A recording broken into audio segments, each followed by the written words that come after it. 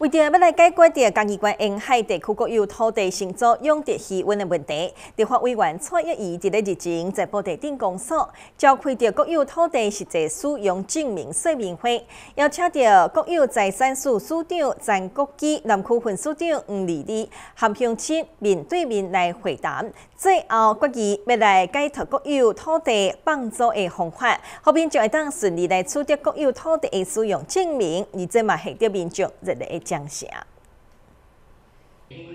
立委蔡意表示，过去嘉义县沿海地区设置养殖气温改变国有土地了后，因为地层下陷，必须渔民无法度承租使用。这对渔民来讲，养殖无保障，而且伫气温边啊起工作时，也会被国产署告侵占，加上刑事的官司。署长张国基非常有诚意解决问题，只要渔民会当证明八十二年七月二十一号进前实际使用气温地，就会当缩短定数。处理作用。因为咱的气温啊，啊，真侪拢是国产产局的地，啊，你若无一个证明，租用的证明呢，啊，咱市区啊补助，啊嘛无法度去得到补助，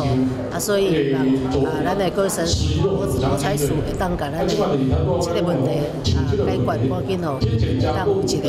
啊一个正常的用地啊。因为对于渔民来讲呢，无法度租遮的土地呢，啊，咱做者好。养殖嘞都没有保障，而且甚至嘞，我在我的渔温旁边盖了一个工作室，还可能会被国国有财产地告我们侵占土地，啊，有刑事问题，这对渔民来讲吼，迄个困扰真大。啊，咱中国基署长嘞吼，啊嘛会使吼，把咱的意见听落，吼啊可以吼，在这一次来做了一个逐步的调整。那希望在八十二年七月一号哦，七月二十一号之前既有的渔温地，那可以让渔民可以顺利的。好，而且可以用缩短程序的一个方式来取得租约。好，啊，这得工作的会使讲吼，伫我就任了后呢，啊，就含苏苏地芬立委、庄瑞雄立位的，阮三个吼，啊，就密集的一个推动。啊，伫即马咧，已经有咱国有财产局一个做善意的一个回复。啊，伫婚姻考核公所咧，也成功媒合了八十二件。啊，今仔咱署长来咱布地，就是希望讲，把考核迄个经验，都伫咱布地再次的复制。啊，互咱遮的渔民呢，会使摕着作用，啊，以后因的渔业就有保障。